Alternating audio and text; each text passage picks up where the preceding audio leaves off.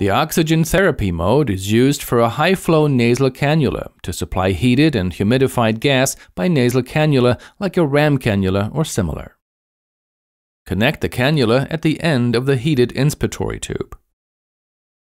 The flow setting is adjustable, and to avoid excessive flows, a setting limit is fixed at 5 liters per minute. To override it, push the rotary knob and set a higher flow rate. The maximum setting is 15 liters per minute. Then confirm by pushing the button again. If the flow setting is in the override range, a small warning triangle remains inside the flow button. The oxygen FiO2 and O2 flush settings are adjustable.